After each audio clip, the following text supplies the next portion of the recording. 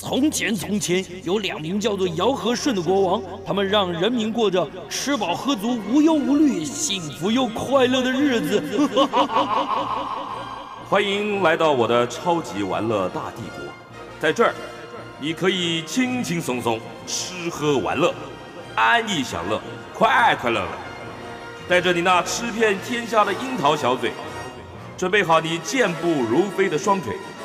跟着我尝遍所有美食，玩遍所有国家。Hello，民国一百一十二年四月二号星期天，欢迎大家来到九八新闻台《超级玩乐大帝国》的节目，我是主持人姚顺。我们今天第一个小时要跟大家分享的是一个很棒哦，这个东西，这个东西有文化、有历史，然后有世界遗产，然后有很高的知识浓度啊，是什么呢？从现在开始啊，一直到七月十五号。有一个线上的展览，它它的名字叫“千年营造敦煌建筑之美”。千年营造敦煌建筑之美。那这这个活动呢，是由中国宋庆龄的基金会、敦煌研究院还有沈春池文教基金会共同主办，是三个单位共同主办，共规划了九个主题，然后呢，展出百件作品、百件展品和专题的影片呢。最棒的是啊，它还结合了这个 VR 虚拟实境技术，来跟大家分享介绍敦煌的建筑历史和艺术风格。那此刻开始一直到七月十五号为止啊，大家不用出门啊，人在家中做，这很棒。因为因为因为你人去人多的地方，我从小我爸妈就教我不要去人太多的地方。哎，那现在对，虽然这个疫情解封了。那常态化了，然后大家生活也回归常轨。但我觉得有个好处，为什么？三个单位啊，他们一定是挑精拣瘦、含英举华的，找出最棒的作品，然后透过现代的科技啊技术跟大家分享。也就是说，你坐在家里，打开你的电脑，甚至手机，你就可以看到千年的、千年以来的这些很棒的这个跟艺艺术和建筑有关的东西。所以，我们今天特别请到了沈春池文教基金会的副秘书长范江泰基老师，还有台湾艺术大学的艺术管理与文化政策研究所的李李乾朗李教授李老师，一起来我们现场，跟我们来分享这次真的很难得的千年营造敦煌建筑之美。两位好，两位老师好。对，谢谢谢谢，姚生哥好。我右边的这位就是李全朗教授，然后再过来就是范江太极老师，两位来，来谁先开始说为什么要办这样子的一个展览？好，呃，我先来。那个，谢谢姚顺兄这么精彩的引言。呃，没有没有，要要做一点功课。您把我第一题都讲完了，呃，真的假的？开玩笑，真的吗？不可能的。嗯，好，我们沈春池基金会从二零一六年开始就跟。呃，宋庆龄基金会跟敦煌研究院开始在办这个敦煌展。哦，从一六年开始就办了。哦。那前面两届是实体展，那呃，敦煌一六年到现在也过了七年，是。只有两届，是三年一次是还是？呃，我们今年是办第四次，第四次，因为中间有疫情的关系。对，那前面两次是实体展，那实体展就是呃，敦煌研究院那边把敦煌的一些文物。用非常高清高画质来做仿制的这个物件送到台湾来，那个那种东西要不要要要要不要保险？哦，可能要，那个也要，可能要也是要哈。OK，那送到台湾来了以后，我们就安排各大大专院校是的行程，然后我们进去巡回。然后请学校的老师来帮忙开课讲解。哇，那等于说，呃，学呃大专院校相关科系的同学就可以在课堂上里面看到非常仿真、非常清晰的敦煌的这些文物。哇，啊，这是前两年都是都是实体展的。那你那些那些所谓的复刻的东西要带到学校去？是是，那那个那那个量要多大？吓死人了！是，而且尺寸很大，货柜车哦，都要货柜车吧？这。只要，呃，我们能够推广技术上的问题，我们都可以克服。OK，这样哇，那所以这个是前两届的一个状况。那后来因为有疫情的关系，那我们这一两这两次，后来这两次就是用线上展的方式。是，那线上展的话，更可以突破一些地域的疆界。对，那所有的学生其实都可以同时在线上来看，诶，这些。更清楚的画面在自己的荧幕上面，只限学生吗？哎，其实一般民众都可以来来参加。OK，好，那我们有特别推广到校园里面去。是，那也就是为什么我们今年特别请李前朗老师是来帮我们做导览跟解说的原因。哦，对，要不要来跟大家分享一下？因为我们从小，这我那个世代了，大概我六十几岁嘛，我们我们当然大概大概大概知道敦煌的重要性，但是应该新时代的朋友，除非你有特别的艺术或文化学习，要不然一般人可能对敦煌是一个抽象的概念。嗯，对不对？或者说你你你你去过，但去过也是浮光掠影，也没有像老师们这么深度的在在介绍。可不可以讲一下敦煌到底它的重要性，在人类的这个艺术或建筑上面，它的重要性在哪里？哎，我们从小时候都知道有所谓河西走廊哈，是。河西走廊，所谓的河是黄河，是。啊。十年河东，十年河西。啊，这个河河东狮吼啊，它这个在黄河以西啊，一般来讲的话，气候跟河东是不一样的哦，比较干燥，那比较接近沙漠地区，特别是新疆有这个沙漠。哦。那这个呢，是一条狭长的一个山谷啊，我们说这个贺兰山啊，我们说这个这个昆仑山，嗯，它夹着这个河谷，在古代呢。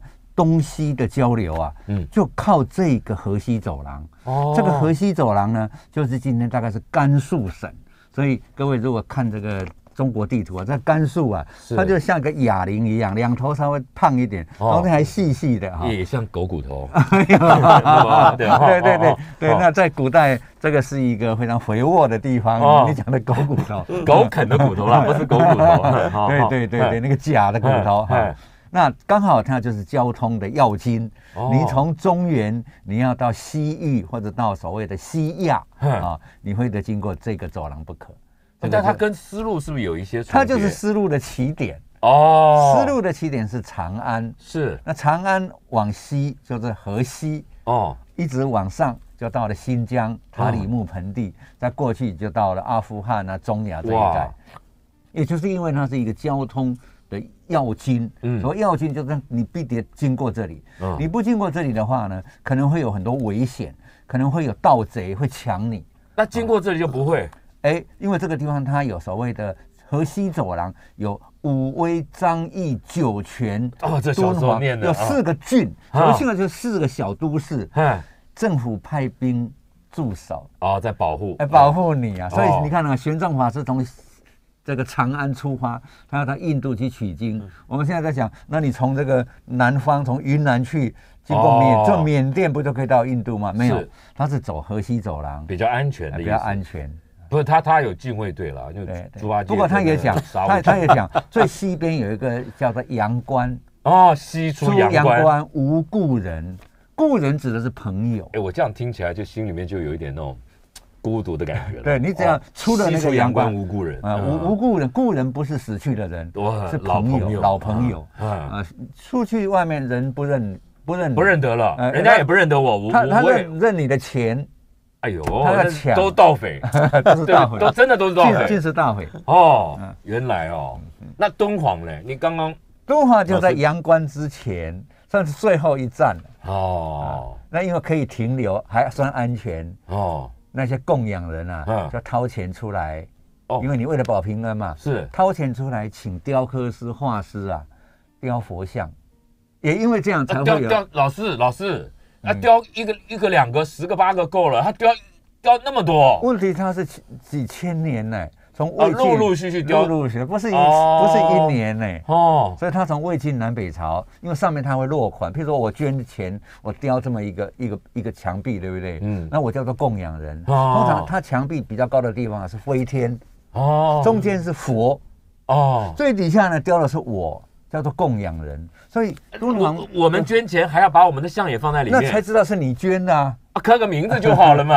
啊，不是谁知道？就像就像去佛光山，老师去佛光山嘛，像那样我说他们不识字的居多。嘿，OK，雕形象。哦，不识字。原来哦，我们你看小时候课课本都没讲这个。哎，对呀，这上面是飞天乐伎，演奏音乐，中间就是三世佛啊，好几个菩萨，还万佛的，还是不止三个。所以底下呢，就一排啊，供养人，可是供养人就出钱的人。老师，那这跟历朝历代的这个这个这个当当权者、当朝者的宗教信仰也有关吗？有，大部分的帝王啊，为了这国泰民安啊，嗯，他们会借着宗教哈，他自己可能也是很虔诚的信徒了，嗯，好像唐朝啊，什么，他皇帝自己都是都都信，都信哦，啊，嗯，但是呢，老百姓呢也会跟着这些王公贵族也就信，哦，那有一个观点是说，这个他们是用这个宗教啊，然后来统治比较方便，那，如果是不从这观点看，政教合一，对，那就是西方东方都一样。啊，这个保平安，帝王也要保平安，国家才能够安定。可是，可是为什么都集中在敦煌来做这件事？哎，你这个问题太好了。对，因为它东方也有，像这个河北响堂山哦，山东哦，这个呃四川大竹，山西云冈哦，最主要是因为河西走廊啊，它干燥哦，容易保存。我说西出阳关，它已经快到沙漠了。干燥呢是这个文物保存的最好的最好的条件。哦，难怪那个什么，美国有一些那种不飞的飞机哦，放在沙漠里面，对哦，它也不会生锈，可以摆个一百年，哦，它不会生锈。哦，原来是这样子。那可是可是老师，那那么多的 前前后后到底多少年啊？从魏晋南魏晋南北朝，就是我们讲西元的话，西元 五世纪。西元五世纪开始，五世纪一一路都有作品往那里放。对，它是连续的，因为这个骆驼对山啊，嗯，是不停的。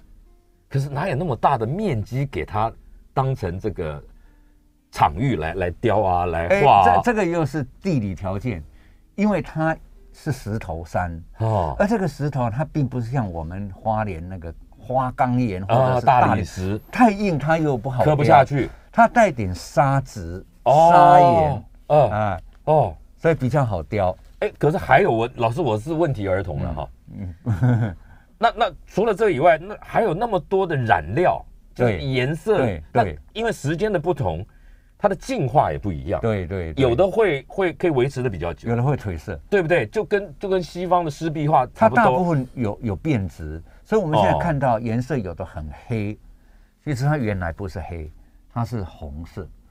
但因为它用两两种，对两种，一种是矿物质，一种是植物性的染染染剂染剂颜料，有的会变质。哦。所以我们今天看到的颜色哈，并不是完全是它当时涂上去的颜色，都变了，它会变，但没有办法进一步的给它好好的保存保养，就让它不会变。没有办法像博物馆一样啊！哦，他现在也想尽办法。他现在有些时候啊，有钱了，把把对，把最好的部分他把它拿下来，把它切下来。啊，那刚没事。他没有办法。有些时候啊，你为了让它延年益寿，你只好改变它的条件。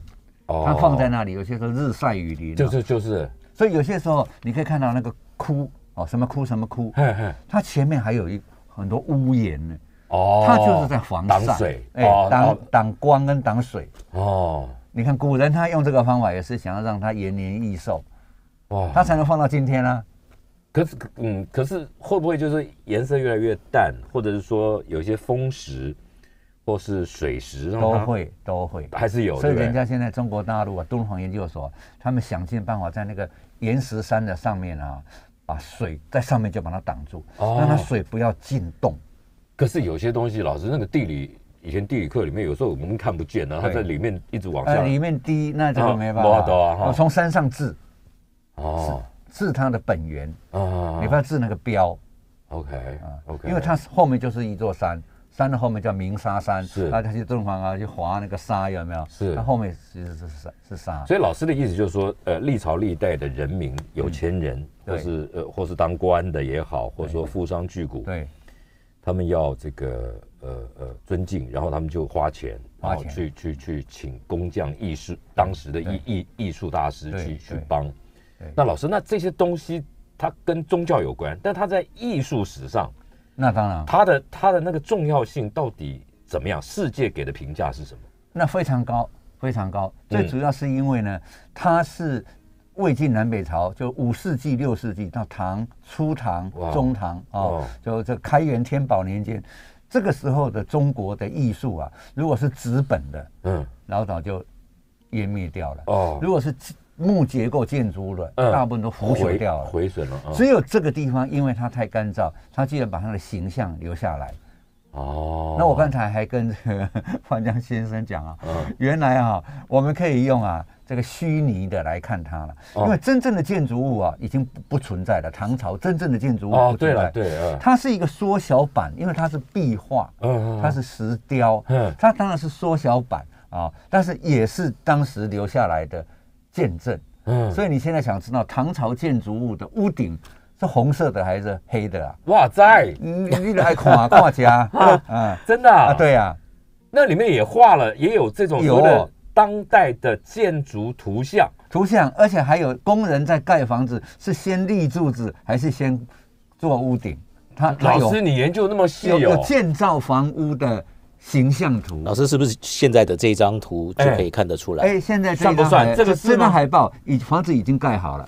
好，我们。经变图，我们进一段广告带回来啊，就请两位专家、两位老师啊，跟我们来介绍敦煌里面伟大的艺术作品，包括了佛像，包括了建筑，还有很多很棒的东西。我们进一段广告。我们继续回到《超级玩乐大帝国》的节目现场啊，今天在我们节目现场的两位贵宾，一位是沈春池文教基金会的副秘书长范江太极老师，另外一位国宝啦。台湾艺术大学的艺术管理和文化政策研究所的李乾朗教授，我们今天聊的是，此刻开始一直到七月十五号有个线上的展览，这个展览的名字叫《千年营造敦煌建筑之美》，千年营造敦煌建筑之美。听众朋友、观众朋友，你们把这个字记住，然后呢上网，你们就可以看到这个这个非常高的这个艺术价值、文化价值、历史价值的这个展览。那我们继续请老师好来来给我们来来来解说。嗯，好，好，这个图，对，来，呃，一般来讲的话呢，我们看敦煌所有墙壁上的图啊，是。最著名的哈，就叫做经变图。那很多人问我说，经为什么要变呢？我说这个是白话了哦，因为佛经啊，它是从这个梵文，就是印度。翻译到中文，嗯，早期翻译的人哈，有些时候道行不高了，嗯，也不是什么教授，他都是那商人，因为你骆驼自己翻译，骆驼对商，你你进进出出河西走廊，然后他们就会懂了一点啊，印度语、印度话，哎，对对对？做生意嘛，哎，对对对，这不汤啊，不那不完整，半桶水，对对，半桶水，那他就翻译，就是因为他们翻译的不好哦，玄奘法师就是非常不满意，哎呦。亲自跑一趟，是这个原因吗？哎，所以他花了十九年到印度留学嘛。哦，然后他就西出阳关了，而且他还偷渡，因为当时呢，唐太宗啊不喜欢这个国师级的和尚啊远渡到印度，他不喜欢，他他不要他去。哦，但是这他就因为看到那个一般商人译的那个佛经啊，他非常不满意。那玄奘法师他怎么敢忤逆？武力皇帝，但是以他的不是要杀头啊？但是他位置够高了嘛。到后来他十九年，他从印度回来啊，唐太宗在城门迎接他。哦，哇，那真的是前贤，不只是国国师啊，对，前贤进士他本来是禁止他出国的，对啊，最后人家他道行那么高，他回来开开城门迎接他。好过瘾哦，听着，对，玄奘法师《西游记》好听，对，跟跟跟唐太宗是同一个时代的，哦，同一个时代的。好了，现在回到你刚才的问题，是是是，那当时识字者不多，哦，当时文盲太多了。那佛经呢？是唐朝的时候，哎，唐朝也是也是只有李白、杜甫他们懂得。是哦，那一般人呢？一般人识字不多啦。是哈，人家说斗大的字不到一担呐，一担有那么几个斗 你已经不错了。哦，所以呢，佛教他为了要弘扬佛法，他想出一个办法，开课以图示字啊。哦，所以这些画哈，其实不是美术的功能哦，来。这个诶，这个表现这个某种什么之美啊？不是，是要表现佛经的含义，教化的功能。对，完全就是教化。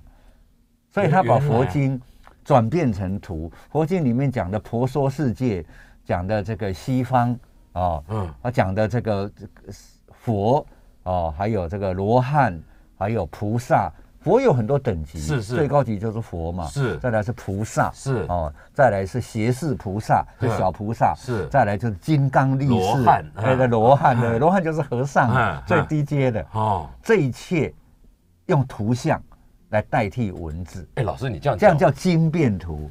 哦，你这样讲啊，我就想到其实东西方差不多，差不多。埃及马，安呢？埃及嘛，是安呢。埃及墙壁上也是，对，都是图案。可是差别在哪里？我们是教化，对，他是为了政治管理，对对对不对？他所以所以所以他们的艺术家都是服务皇皇室，他们政教合一。所以法老王自己可能就是祭司，他自己也也上场啊。但是中国他是这样子，因为在唐代的时候啊，有些皇帝啊，他自己姓李，啊，像我一样姓李，是当然自己姓李，不然别人啊，他就认为是李耳的后代哦，太上老君。就是要哦，所以他会信道教哦。啊，像像唐玄宗啊，那个很会戏剧的这个唐玄宗，他就很信道教。哦，但是他当时佛跟道啊是敌对的。可是佛还跟一个比较关联、比较连在一起，就是儒儒家思想。早期他们也敌对，因为儒孔子说“不知生焉知死”，佛教专门在讲死以后的。轮回。对，他说：“你这个生啊，你不要怕，马上呢你就有轮回，只要你做善事啊，也是六道轮回。”对啊，早期他们三个思想儒释道啊，互相之间不和，现在是三教合流，彼此。彼此不同意。斗争哦。啊斗争哦，所以我刚才不是讲吗？这个唐玄宗啊，他自己姓李嘛，李对不对？他是说李耳后代，哎，对他就会尊重道，尊重道的结果呢，那些道士啊就会去讲佛或儒的坏话啊。我们现在讲的的，所以从从现在的这个词语来讲。李老师刚刚讲的经变图，其实就是一种行销的功能，对对，佛教的行销功能，佛教的行销。嗯，原来啊，不过道教后来他也学佛教，他们也画壁画，哎，哦，画那个画那个那个那个道教的神仙图，因为道教讲的是神仙。老师会不会是因为呃，在早年可以应用的载体、载具或是表现形式的媒材不够多？所以他们才用没有错，没有，他们最多也是画画哈，要不然就是音乐哦。所以很多音乐啊，其实最早是宗教音乐哦。你你看那个佛经啊，呱呱呱这样这样唱有没有哈？嗯。还有道教，那它就有音乐哦，把传教的义理放在音乐里面。是是是，好，老师，那这张图。对，我们现在当成当成这个 post 的封面这一张图啊，就是很出名的经变图。那在敦煌这样子的图哈，不下二三十幅以上哦，啊，有的还更大。是，那它的目的呢，就是借由这样子的一个图像，让你看到呢佛教的某些义理。怎么讲呢？这这这这张有什么义理啊？哎，我跟你讲哈，你这一张图描的哈，你把所有的佛像、所有的乐伎、跳舞的乐伎，嗯啊，跳舞的。还有演奏音乐，他把它省掉了，你知道？通常啊，在这个正殿，这个就是大雄宝殿，是。它的中间呢会有佛像。哦，都一样，释迦牟尼佛。是。那旁边呢就是所谓的菩萨文殊普贤。哦，释迦牟尼的旁边还有他的弟子哦，那个伽南弟子哦，欧南弟子有两个弟子，嗯，所以就变成一佛二弟子。二菩萨哦，二金刚哦，它它它有它有一个标准配备，你知道吗？哦哦哦。那旁边呢，就会有更多的出家人罗汉，哇，很多罗汉都在这个地方。这刚没看出来，他看不到，因为他这一张图省省略一点，他省略，他没有把它画出来。哦哦。我说你们如果说下次你们再找一张哦，这里布满一大堆信众的哦，还有信众哦。对，那前面不是一个大平台吗？老师，那信众都要跪着吧？跪着。通常贵的，那这里有个大平台，那大平台呢是一个舞台。这个早年真的有这样子的一个场域，这样子啊。现在中国建筑在唐朝啊留下来的非常少，但是蛛丝马迹看出来有这样规模的佛寺，确确确实有，确实有。因为前面还要有这么大的，这个通常只有只只有皇帝住的地方才有嘛。而且我跟你讲，不只是这个舞台，它舞台哈是立在水上啊，这这是水。哇，那那个，那那那那个，所以这个是桥。你看，它这里有几十根有了，呃，看到了，嗯，它插在水中。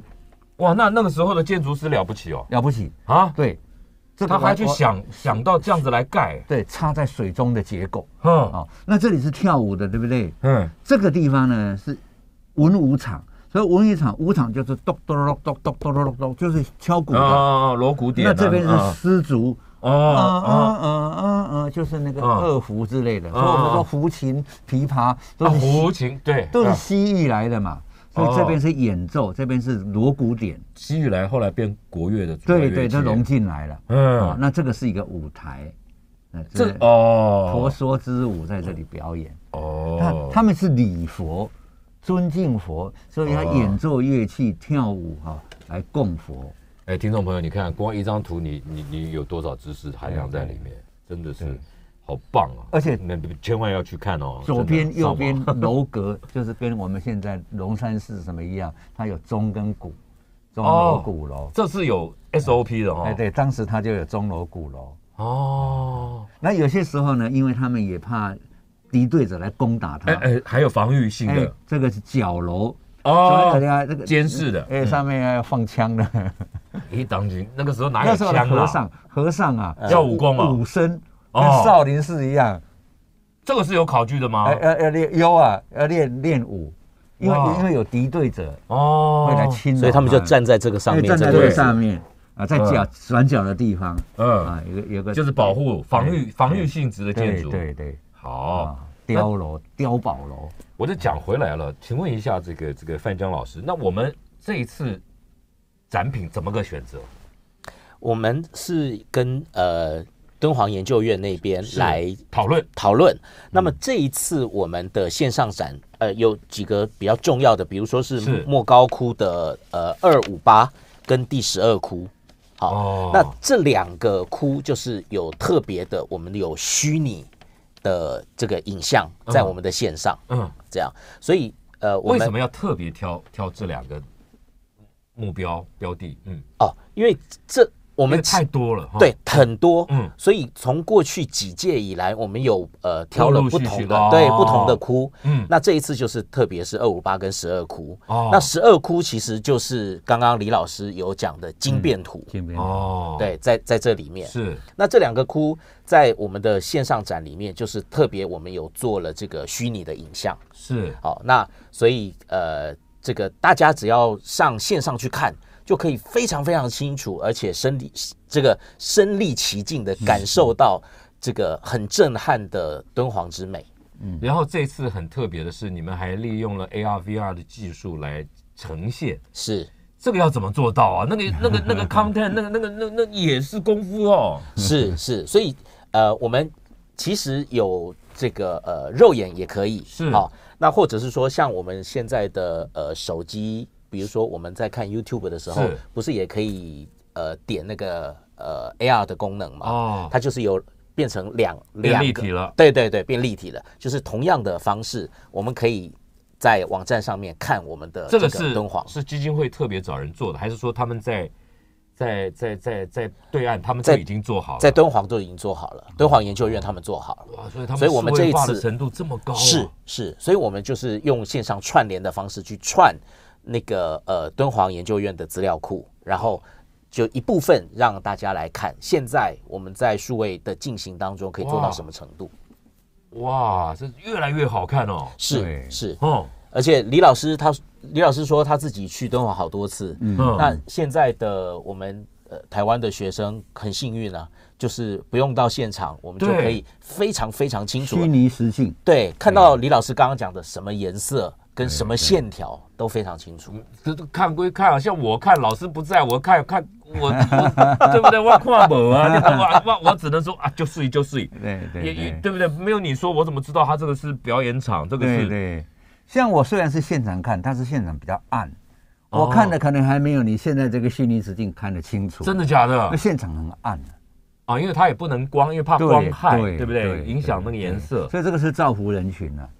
好，我们再进一段广告了。老，待会就就就就老两位带领我们进去，进去这个展览哦，举几个重点的，跟我们来品乓一下。嗯，应该是来，我们继续回到节目。我们今天跟大家分享的是从此刻开始一直到七月十五号，这个线上线上的展览呢，它叫做“千年营造敦煌建筑之美”，千年营造敦煌建筑之美。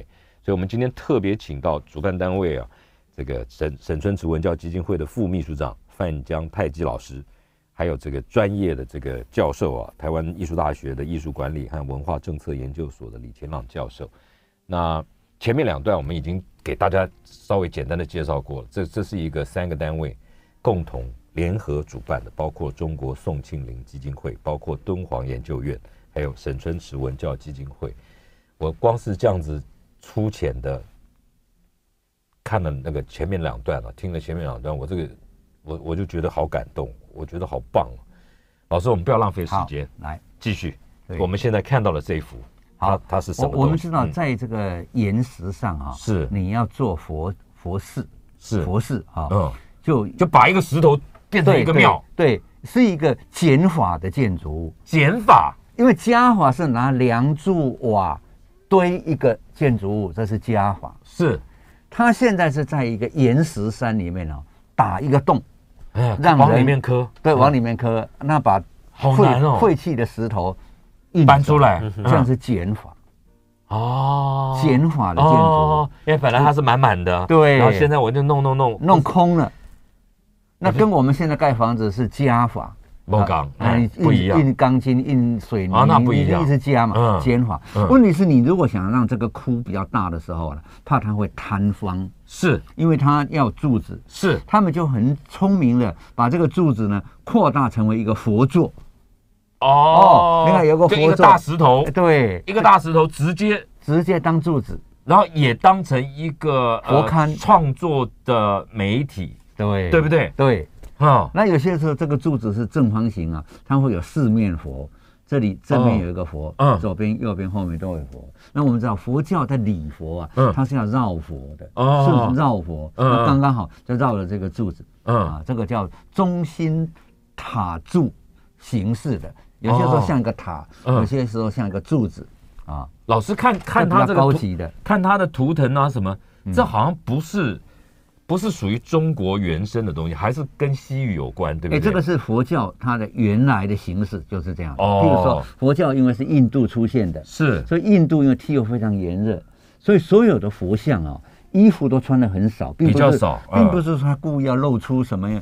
什么肉给你看？秀肌肉是他的，不是因为印度它是热的 啊哦，衣服。寒带出现的宗教啊，就穿很多衣服。是，那热带出现的宗教呢，衣服是很少的，哦，就披一个袈裟。嗯啊嗯，那那至于说胶脚，胶脚呢，这个是早期佛教刚出现的时候啊，很喜欢用的一种姿势，胶脚菩菩萨，胶脚。是啊，一般像后来这个密宗佛寺啊，他也喜欢做胶脚，这有特殊的，而不是而不是盘坐。哎，这是有没有特殊的？你看早期的，他们印度人哈，嗯，喜欢做这个胶脚的。那它有两个意义的，一个是这样子哈，如果它是在一个台座上啊，他们就这个扶坐，扶坐就是这个整个脚盘上来，那就盘了。对，那如果它是在野外的话呢，他们有一个交椅。高高，他坐高了，嗯，他坐高了，这两只这个小腿啊，脚脚的摆法，对，它不盘上来，嗯，它就变成 X 型，嗯，交脚，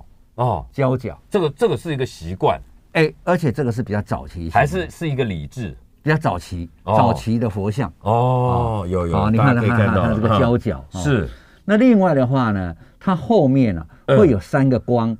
光芒万丈，头的后面这一个环啊，叫做头光。头光，对，嗯，然后背啊还会有两个光，背微一这个叫背光，嗯，这个叫背光，这个像比较大的，像蜡烛的这个是哦。另外还有肩膀啊，会有两个类似翅膀，这个叫肩光，所以变成肩也发光，头也发光，整个背都发光。老师，这是出于三光，出于出于。出于创作者的想象，对他们认为他有智慧，有智慧就光芒万丈，是创作者的想象，还是说佛经里面的阐述？佛经里面也有讲，也有讲，他一定是跟着佛经去做，对智慧者。所以我说经变图，佛经里面讲的，他用图像把它表现出来。哦，哎，老师，那下面两个，哎，左右下面这两个就是左右护法，像像这个，你看哈，他看不清楚，他还有头光。哦，表示他也很道行很高，哦呦哦，有光的就是像我们凡人啊，不会有光，对不对啊？我们除非啊，你这个头发很少，还会有一点反 那那那那那还要还要还要有 月亮，秃子得跟月亮走，是吧？那像这这两个叫护法。你也知道护法保护保护这个，可是他有姿态的，老师。哎，对他通常他把手举起来，通常都是护法。护法其实就是就是警卫的意思，就是耀武扬威了。对，就是我我要有武功，你不要随便靠近。他有时候会有武器的哦，金刚杵啊什么之类的。哦。这这他这个还比较少，因为它是一个一个主佛哈，嗯，那两个护法对不对？通常在旁边啊，嗯，还会有这个胁侍菩萨，就服侍他的菩萨。哈。啊，因为菩萨比佛位阶稍微低一点，嗯，他还有菩菩萨，菩萨来来来礼佛，对，来来对，呃，来伺候，来伺候他，对呀哈，然后旁边可能还有两个啊，叫做弟子，他的学生，他的弟子，哦，所以我们常讲一佛二菩萨，啊，二弟子，哦，啊，二。这护法一定要二二的二的这个左右左右哦。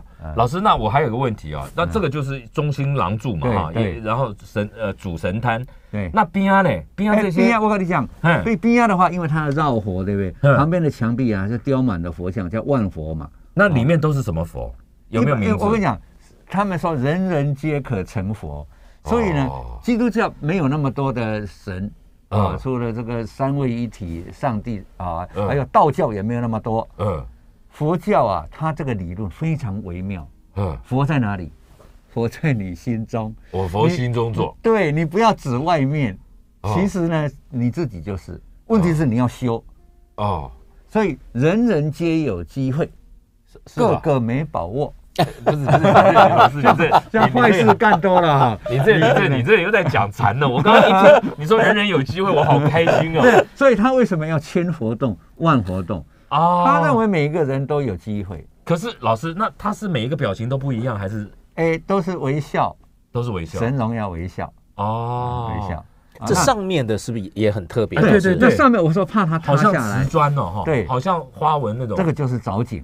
因为“井”这个字，你看哈，是两横两竖，对，九宫格哦。对，就是古时候的井，不是我们现在看到的圆的，哦，是方的。哦，哦真的？是方的。OK，再打成井字形，这种图形是。可这个不是啊，这怎么看它是井字形？老师，哎，我跟你讲哈，它这个是井字形，中间一个莲花了，井字形啊。第二次把井字形转四十五度，这个叫磨角井字。磨磨个边哦哦，这第一次，嗯，第二次哦，转一下，嗯，第三次哦，立体了，第四次哦，哎，这等一下，这这这这叫墨宝，好吧？给大家看一下，但这是老师李李全朗教授画的哈，要有三次，这样。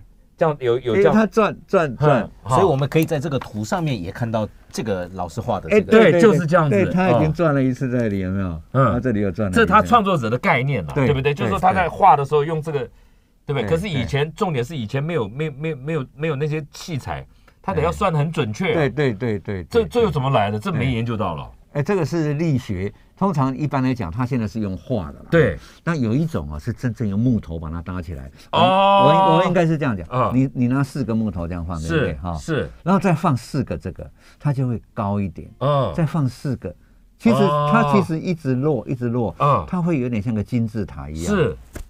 那你这样看就很很好看。所以屋顶上面看就是尖尖上去的。哦。对对。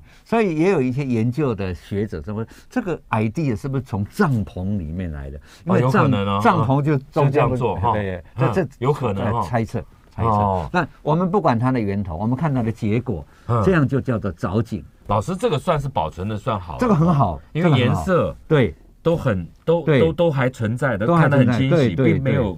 对，这这个有最除了底座有一点点模糊对，因为会被老师他底座这些的，哎，供养人供养人。供养人这么多人啊，都在桌子底下供养人，也不不刻个名字，我怎么知道？对不对？我们我们现在去那那我刚才跟你讲，他们不识字啊，他们用图像代表。你说他不识字也不见得，他有些时候会在这里落款哦。对对对，雕刻的人就作者哦，作者还有年代哦，所以我们现在非常清楚，几乎这敦煌的几千百窟里面啊，大概百分之八九十啊，知道他的年代。哦，那这个很重要，这很重要，在一个艺术品上面，艺术品你不知道它年代，你什么也不能白研究了啊，白研究嘛，对不对？所以他知道它有魏晋南北朝的，有初唐、中唐、盛唐。哦啊，老师这这，对啊，那这个更精彩了哈。哦，真的，这个就是主主的佛，对不对？这个就是他次要，你看都有背光的、头光的哦。这两个算是算是他他他的配属的，可能这个是释迦牟尼佛，这两个小的可能是他的弟子。欧南跟迦叶，哦，那这两个就是文殊普贤，哦，那正面啊，那这里有个叫火焰式的背光，火焰火焰式 fire，哎，对，哦，这个这个是印度式的，啊，这样，这个是水蜜桃式啊，水蜜桃也有点像馒头嘞，嗯嗯嗯嗯，然后这个是藻井，你看它是转了转了一一次、两次、三次，它转三次哦，哦，先是莲花，然后一个方，对不对？嗯，老师转几次是不是有意义的？哎，转越多是越高级呀。都都都都一直转了，一直转了，然后就最后变成是一个斜的，就我们叫做覆斗型，斗是这样子，嗯嗯，覆波覆斗哦，盖过来，盖过来，嗯。那现在我跟各位在讲这个图片，这里怎么会有几个洞？三个崩康，对，不止三个崩康啊，不止不止，这边四个，这边四个，这是什么意思？我跟你讲，这个是神像佛像，嗯，这个呢是出家人自己要坐进去。因为不是人人皆可成佛吗？你要修行，他就进去。不是那禅窟禅坐禅坐禅。嗯，老师，那这个是不是他他要在里面准备好，在里面要要要圆寂？真的假的？不，他什么时候圆寂他自己也不知道。是他先准备好，对他准备好，但是他每天都要来修佛，就是你每天都要做这些事情啊。你然后每天在里面对。打坐一一段时间就对了，对，然后除了吃饭，上洗手间，你可以离开这个窟。哎，老师，你讲到这个了，所以这种叫做哈，叫叫做这个禅窟，禅窟啊，坐禅的窟。哦哦，OK，啊，等于是个教室了。对对哦，那不是老师，那那他们礼佛的人每天每天要来，那他生活作息跟这个在在这里完成，还比如说 OK 要吃东西出去。上厕所出去，有有人会拿来给他用餐，哦，外送啊，原来 就有福天打，五百亿，五百亿外送，真的假的啦？真的，我是开玩笑乱讲的，没有错，地址送过来，地址送过来，哦，哇哦，嗯，所以这个 OK，这个这很多，所以这种叫残窟，嗯。啊，通常是这边如果四个，这边也会有四个，要对称，那这里不会有，这里是那个门。哦，入口，入口。可是它这个好丰富，你进来会不会头晕啊？你说哦就灰，哎不不，那西方的基督教的教堂也是一样，也对了，彩色玻璃，他们其实就借由这些图像啊，嗯，把佛经的意境讲出来，还有故事了，讲故事了，嗯，啊，讲最出名的故事就是说那个有个盗匪哦，嗯，啊，他专门这个吃人家的小孩哦，为母子，那人家后来就把他的儿子都抓去杀掉，啊，人家。这个抓他的儿子，他自己就很舍不得。嗯，于是人家说：“那你的儿子被我抓去，你都舍不得。那别人的儿子呢？你怎么看？”那他幡然悔悟。对，呃，像这个大家知道故事，他就把它画出来。哎，有这样的故事哦。鬼母子。哦。啊，然后还有呃，强盗在路上要抢劫人家，那遇到佛，佛说劝他说：“你不能可以做这种杀人。”放火的勾当啊！放下屠刀，对对对，立地成佛，对对啊，那他悔改了啊，这样又是个故事哦。我们现在看起来也许是很幼稚的故事，不会，但是在那个年代，不不，这个年代更要啊，更要，没那么乱。还没有了看，我们进段广告。继续回到超级玩乐大帝国的节目现场，我们继续跟来特别来到我们现场的沈春池文教基金会的副秘书长范江泰基老师，还有台湾艺术大学的艺术管理与文化政策研究所的李乾朗教授。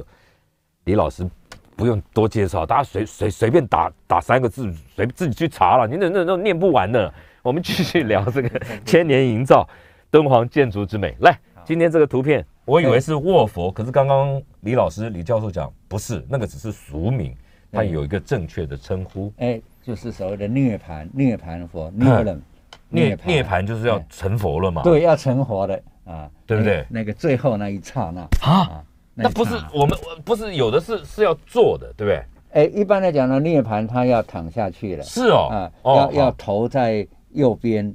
你不可反头不可以在左边，头要在右边。哦，有规定的。对，那一只手托着腮，嗯啊，另外一只手抚着自己的身体，或者是身体，所以它有个标准姿势。在这里，身体左手，对对啊，右手在扶着头，对扶着。这个是这个是呃经书上里面的，对，叫双双林入灭，就是释迦牟尼佛他就是收了很多弟子，弟子都在后面。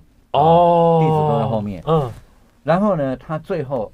要这个涅盘的时候，哦，圆寂的，圆寂，圆寂。要涅盘的时候呢，是在两棵树的当中，它后面会，他们后会会画两棵绿绿的树，我这里画一棵哈，哦，画个，所以叫双林入灭，哦，两在两棵树中间，那这个只是一个背景，说后面不是空的，哦，这两棵树，嗯，哦，它在两棵树中间，它要圆寂的，那圆寂的时候，它不是站着，不是说这个。这个卧坐卧啊，不是，他他是卧着的，所以我们也叫卧佛。嗯，卧佛就是他要圆寂的，他要涅槃了。嗯，那这时候他的弟子通通要来送行，最后一面，对，算最后一面。就后面的弟子呢，有的人在哭，有的人很看得见，很沮丧，说：“哎呦呦，我们的老师啊，这个要离开了。”但是有的在笑，哎，认为这个这个是伟大的，得道升天，得道升天。那这里他们就是说。在跟众人讲，众生讲说呢，对于佛要涅槃哦，每一个人的心情是不一样的哦。啊，有的人觉得悲伤，他要离开了；那有人觉得要高兴啊。反正就把这个情景啊，透过图像，这个在佛经里面有，他透过图像把它画出来哦。那一般来讲的话，要雕一个涅盘佛卧佛，嗯，这个窟要比较大，很大，要很长，长。对，在那个武威啊。张掖九泉中啊，在武威张掖这带有些大的庙也有，你们供的就是卧佛。哇，那个庙之大，你从左边走到右边要大概走一分钟才走得。这么长？对，很大的庙，里面要供一尊这个。我在泰国也看过，对，啊哈，就就就反正都是佛教，所以他们大概教义是差不多。老师下面的这些，又又是供养人。哎呦啊，共享人永远在下面。哎，出钱的人哦，他是有一个规矩。上面呢就是藻井哦，嗯，再来就是所谓飞天月季，嗯嗯，飞天的那些乐师啦，对，啊，长长这个翅膀啊，什么飞啊飞啊哈，然后中间这一层呢就是佛哦，弟子佛，嗯，那在下面一层啊是。金刚力士，等于警卫哦，保护他的，保护他警戒的的警戒，最下面一层呢才是凡夫俗子，就是出钱的人，不会啦，凡夫俗子的不是最大。出钱的是最卑微的 哦，哥，他他还是有露脸嘛，然后后后人看到说啊，那个我爸爸，对对对对对对。我我们这一次的线上展的呃主题是千年营造，对，好，所以在营造上面，我我们也请那个老师帮我们讲解一下这个很特殊的一个，一定要，这个这个很出名，这个一般来讲的话呢，呃，一般敦煌我们出土的东西啊，一般都是浮雕而已。根本就是用画的，嗯，对不对？嗯，那这个居然呢，它有一个四 D 实体物，四 D 的真正的，对，它是一个钟楼哦，啊，钟楼夜半钟声到客船哦，它通常是在这个寺院的外围是还是在边缘？边缘边缘好，因为它的这个钟声啊，可以传千里哦。那佛教的这种传播，它的它的这个福音呢，它是用好几种技巧，比如说，它要让你。鼻子闻到你进入佛境，他就要烧檀香。哦，所以你靠近一个佛寺大概不到两百公尺啊，其实开始有味道，你已经有味道了。哦，嗯，然后呢，你的耳朵呢听到当当哦，或者木鱼木鱼叩叩叩叩叩叩，嗯，对，你就知道。还有一种金属波也是哈，有没有？那声音很好听，所以它借由声音波的声音、钟的声音，还有味道，嗯。导引你进入，让你进入进入佛境。哦，原来以前就有无感体验这件事。对对对对，完完全是按照你的感官，你的你的五官哦。感官嗯，感染你，那么叫感染哦，所以钟楼很重要。是，那钟楼就是要高声音才传播的语言啊。所所以会有这个这次展览会有这个东西，也就是说，呃呃，在真正的敦煌里面，它是有这样子形制的建建筑在里面。那这个钟楼的这个具体的，它很重要，就是让我们知道呢，古时候的这个佛教哈，它的屋顶哦不会是平的，它会有一个叫做塔刹。塔刹，我们说一刹那，佛经里面就是非常短的时间，一刹那。嗯，那怎么样代表非常短的时间呢？怎么怎么代表？他就做一个叫相轮，就有很多小圈圈，嘟嘟嘟嘟嘟接接接接，这有意思的。对，通常都是九个啊，或者是十三个奇数。嗯啊，那一二三四五六七八九，哎，真的九？哎，对啊，奇数，因为阳是九，阴是偶。我们说十八层地狱，有没有？偶数嘛？十三天。哦，上面是阳，底下是阴。那它的意思是，就是指，就是我们要成活的时候呢，是这样，你的灵魂呢，就这样透过这个尖端到这个最高的地方就化了，哦，好像触电了，哦，化掉了，哦，所以有些时候这个地方如果不放松的话，这里是你做修行的地方，你你在打坐，哦，哦，然后你到了一个境界呢。你灵魂就出窍了啊！你那个臭皮囊没有用了，臭皮囊就是对你真正啊。那这个上面呢会出现这个，所以一出现这个的话呢，就不是道教建筑，就不是基督教建筑。基督教是这样子啊，十字形啊。所以这个是很重要的一个佛教建筑，佛教建筑塔刹，塔刹刹那的那个刹。哦。那在底下呢还有四个翘起来的，叫做三花蕉叶，那有点像芭蕉。但是这种三花蕉叶，嗯，也有原因的。对，这也是印度啊，释迦牟尼佛那个时代很喜欢用的一种图形，三花蕉叶哦，翘起来的。哦。所以你看这个地方就看出来，这样的一个塔刹下面的这两对对这四个。是那后面还有两个，还有两个。立体的嗯。所以我们只要看到有三花蕉叶，还有奇数的这个轮子，好像轮胎啊，这叫塔刹，这个就是一个佛教建筑。哦，那因为可是现在台湾也没有看到这种，哎，佛教的庙就有了，刚武，哎，你去佛光山看看，星云法师那个，哇，那个做的好大哦，哦，好，他就有，他有按照，他有按照佛经的底底下做，哦，那这个模型还有一个很重要的特点是什么？你知道吗？嗯，中国建筑在魏晋南北朝的时候啊，是，就有很多的曲线，哦，在汉朝直线。是秦时哦，屋顶的对对是线条。是直的，是。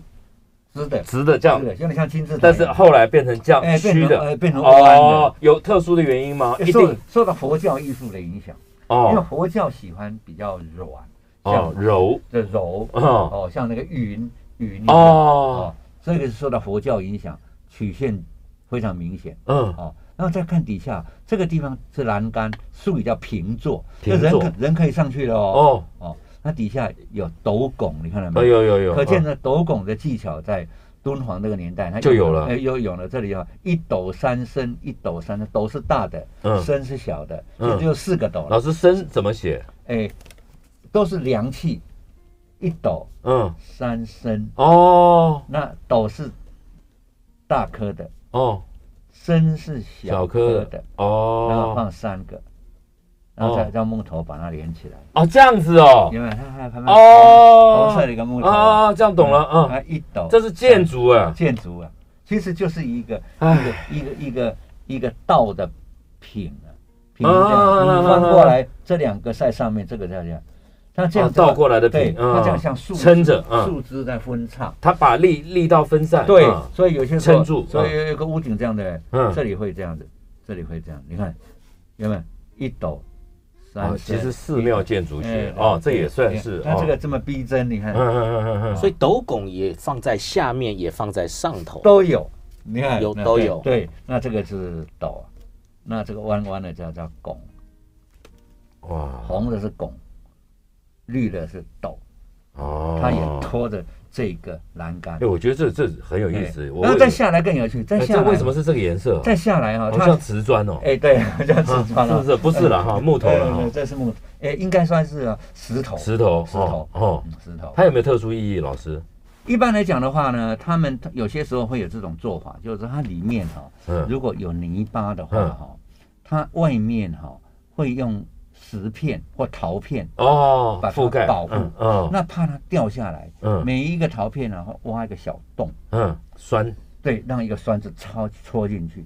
它那个有时候叫钮了哈，像像这个门这个这一个一个那个钮，对不对？对，那这个钮跟这个一样，因为它这个地方有铁皮，嗯，哦，城门嘛，嗯嗯怕人家用火去去烧它，去攻它。哦，我要攻打你，我把你烧掉不就好了吗？嗯，它就铁用铁器。那么每一个铁皮上面现在有个钮，把它一个铁钉啊，那个图钉啊，把它扣住。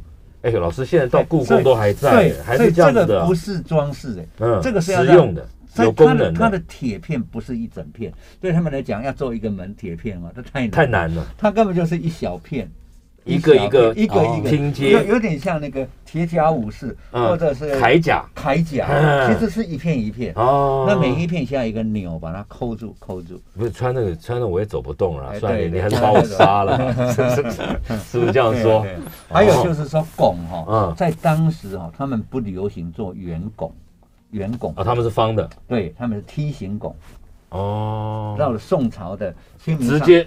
直接这样子哦，《清明上河图》里面都还是这，《清明图上河图》不是有个城门吗？嗯，也是哇，好了，听众朋友啊，这个好听的东西啊，时间永远都不够。你真的要听 李乾朗教授、李老师要讲的话，你可能要花三个月 才能把，而且三个月不是把这个讲完哦，对不对？对对对。我们今天花了时间，非常谢谢两位神春池文教基金会副秘书长范江泰基老师，还有台湾艺术大学的这个艺术管理。与文化政策研究所的李乾朗教授到我们现场来，跟我们来分享很棒的。为什么？因为到此刻开始，一直到七月十五号，千年营造敦煌建筑之美，大家可能打关键字上网，你就可以去看了。这是一个非常独特的线上展，今年是第四次了，对不对？对，第四次，以后会一直下去，对不对？对，我们会持续下去。我觉得今天光是你看，听众朋友、观众朋友，光是听老师啊，就讲几个。就已经欲罢不能了。那可那里有多少千千万万个？那到底有多少个？老师，那里面有到底有多少个啊？哎，你说这几个窟啊？啊，那不止啊，那大概有。呃，现在各张大千也编号，日本人也编号。嗯。那西方的日本人也着迷哈。编号。嗯。那现在已经知道了，接近这个八百多窟。哇！八百多窟。